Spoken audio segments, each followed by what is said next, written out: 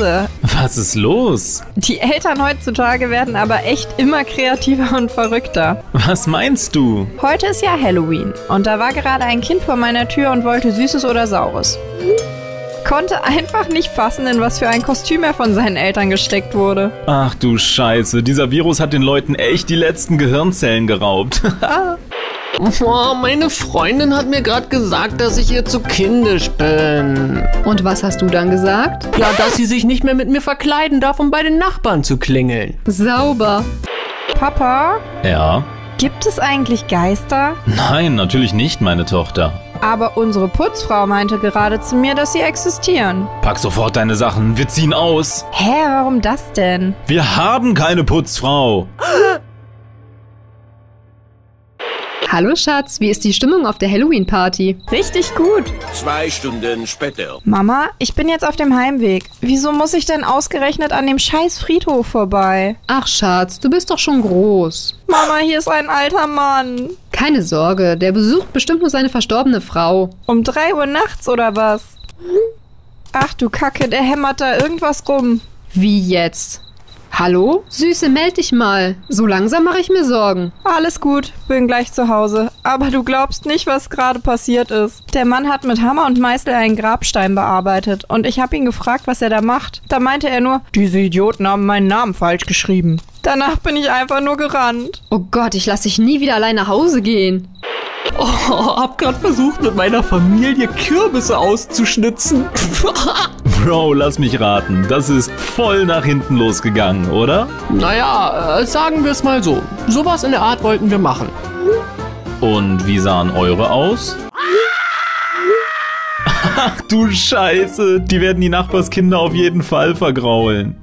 Wie unverantwortlich manche Menschen einfach sind. Mein Noah war an Halloween mit anderen Kindern zusammen los. Die haben Süßigkeiten an den Häusern gesammelt. Zu Hause angekommen hat er einfach einen Riegel mit Nüssen im Eimer. Und was genau ist daran so schlimm, wenn ich fragen darf? Er hat eine Nussallergie. Finde es unverschämt, dass die Leute einfach nicht nachgefragt haben. Jetzt war ich wieder die Böse, weil ich ihm den wegnehmen musste. Wäre das nicht eigentlich deine Aufgabe, dafür zu sorgen? Kann ja nicht jeder wissen. Ähm, nein?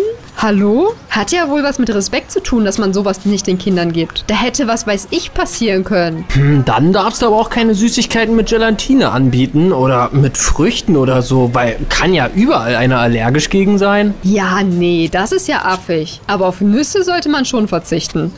Alles klar, Chefin. Wir tun jetzt mal alle so, als hättest du recht.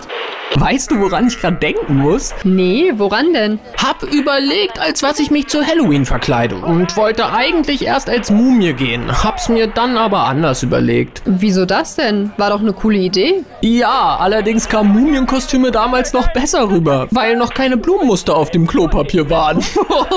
Oh shit, das stimmt.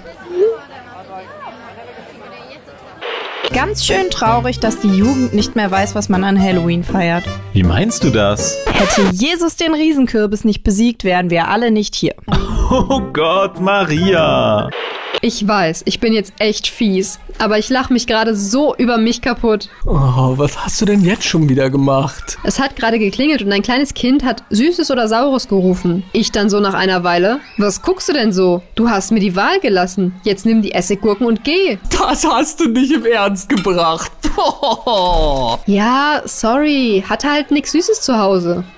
Kannst du mir mal sagen, was ihr alle so an Halloween findet? Ist doch richtig cool, findest du etwa nicht? Naja, früher als kleines Kind schon, aber mal ehrlich, du kannst sagen, was du willst. Aber ein Tag, an dem ich meine Süßigkeiten verschenken soll, das ist für mich kein Grund zum Feiern.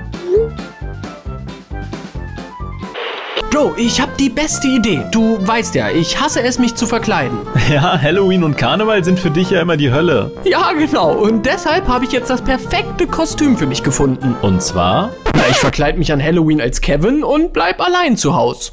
Wow, du bist ein Genie, Brudi. Schatz, denkst du bitte dran, Süßigkeiten für Halloween zu kaufen? Ja, kann ich heute Abend nach der Arbeit machen. Ach so, aber denk bitte dran, die müssen bitte frei von Nüssen und Gluten sein. Bitte, äh, was? Ja, Schatz, wegen den ganzen Kindern, die allergisch sind. Und auf Zucker und Laktose sollten wir dieses Jahr auch besser verzichten. Dass die Süßigkeiten vegan, halal und koscher sind, ist ja selbstverständlich, oder? Sechs Stunden später. So, hab jetzt drei Säcke Kartoffeln eingekauft. Das wird ja wohl reichen, oder? Weißt du, was das Gute ist? Was denn? Ich brauche dieses Jahr kein Halloween-Make-up. Hä? Wie? Ich dachte, wir wollten uns voll gruselig verkleiden. Machen wir ja auch. Die Schminke kann ich mir halt nur sparen. Bei mir sind die dunklen Augenringe und der Todesblick ja schon vorinstalliert. Oh Mann. Ey, äh, Dings, äh, bald ist doch wieder dieses eine mit den gruseligen Gestalten. Du meinst Halloween? Nee, äh, Klassentreffen. Na Bro, schon fertig für die krasse Party morgen? Ja, immer doch. Hab auch ordentlich Bier besorgt. Stark, so muss das. Als was willst du dich überhaupt verkleiden? Ach, hab gedacht, ich gehe dieses Jahr mal als falsch geparktes Auto. Hä? Wie jetzt? Na, vielleicht werde ich dann auch mal abgeschleppt. Versuchen kann man es ja. Hat schon mal jemand von euch Kürbisse in Gesichter geschnitzt? Würde das dieses Jahr gerne mit den Kindern für Halloween machen. Vielleicht habt ihr ja ein paar Tipps oder tolle Vorlagen für mich. Liebe Grüße. Klar, schick dir ein paar per Mail rüber. Haben wir letzte Woche auch gemacht. Okay, sehr strange. Das habe ich noch nie gemacht. Und ich glaube auch nicht, dass es erlaubt ist, um ehrlich zu sein. Hä? Wieso das denn nicht? Willst du das wirklich mit den Kindern machen? Ähm, ja, natürlich. Na gut, dann brauchst du auf jeden Fall ein sehr feines Messer. Vielleicht mit einem Edding vorzeichnen und dann nachritzen. Ich stelle mir das allerdings echt schmerzhaft vor. Derjenige, der sich freiwillig meldet, müsste aber ganz schön stillhalten. Sonst kann das ja ziemlich schnell wackelig werden. Du willst Kürbisse in Gesichter schneiden und die Kinder sollen mitmachen. Sorry, Carla, aber das ist wirklich mehr als krank. Gesichter in Kürbisse schnitzen meine ich natürlich. Oh Mann, ey, das darf doch nicht wahr sein. Was los, Diggi? Bin grad ernsthaft von einer Halloween-Party geflogen. Wieso das denn? Zu viel gesoffen? Nee, angeblich hatte ich ja kein Kostüm an. Dabei habe ich ein rotes T-Shirt getragen. Ich hasse es, wenn Leute Winnie Pooh nicht kennen. Hey Luisa, bald ist Halloween. Ähm, ja, ich weiß. Danke für die Erinnerung. Ja, wollt's nur sagen. Und dich daran erinnern, dass du schon mal anfangen kannst, dich abzuschminken. Du bist so ein Arsch, ey. Oh Mann, ey, ich hasse es so. Wieso haben wir Frauen alle vier Wochen diese Scheiße? Süße, glaub mir. Ich fühle mit dir. Halte durch. Ganz ehrlich, das ist ja eigentlich sogar das perfekte Kostüm für Halloween. Was? Die Periode?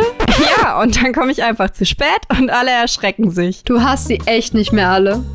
Ich glaub's nicht, ey. Falls ihr heute Süßigkeiten sammelt, geht auf keinen Fall zum Haus an der Kirche. Wieso das denn? Sind da gerade mit den Kindern Süßes oder Saures sammeln und haben da geklingelt. Wir, Süßes oder Saures. Der alte Mann, trinke ich beides nicht. Habt ihr einen Whisky dabei? Ach du Scheiße, da haben sich die Kinder aber erschrocken, oder? Ja, die waren ganz schön verwirrt.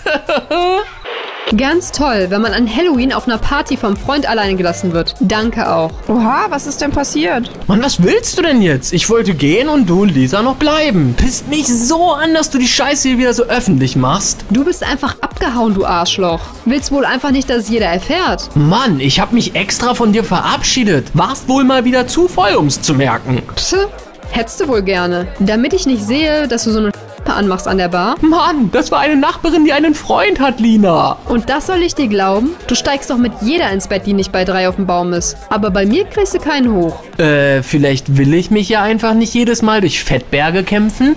Hat er nicht gesagt. Hau einfach ab, du Pisser. Ja, mach ich auch. Besser als wegen so einem Bullshit zu streiten. Ich glaube, ich spreche im Namen aller. Denke, dass wir jetzt wieder auf dem aktuellsten Stand bei euch sind. Und jetzt ist es Zeit, das Internet abzuschalten.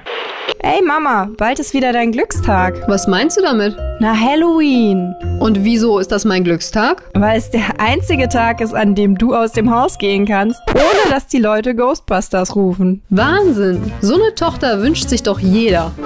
Ey, ist deine Alte genauso durchgeknallt wie meine? Wie meinst du das? Ja, ich komme gerade nach einem langen Tag nach Hause und die sitzt so auf dem Bett und guckt Halloween-Filme. Na, Prost Mahlzeit. Da ist aber schon eine richtig im Modus. So geil, ey. Hab gerade mein absolutes Halloween-Highlight erlebt. Hä, was war denn? Es hat geklingelt und dann war da ein Vater mit seiner kleinen Tochter an der Tür. Er im Hagrid-Kostüm und sie als Drache verkleidet. Dann war erst alles still. Vater flüstert, was haben wir zu Hause geübt? Das Mädchen ganz leise, grrr. Oh, wie süß. An Halloween gehe ich definitiv als Morgenmensch. Als Morgenmensch? Wieso das? Na, nichts ist gruseliger als ein zufriedenes Lächeln und gute Laune am frühen Morgen. Und hier haben wir jetzt noch eine weitere Folge mit lustigen WhatsApp-Chats für euch. Daneben könnt ihr unseren Kanal abonnieren und darunter kommt ihr zu unseren WhatsApp-Hörspielen auf Apple Music, Spotify und Amazon.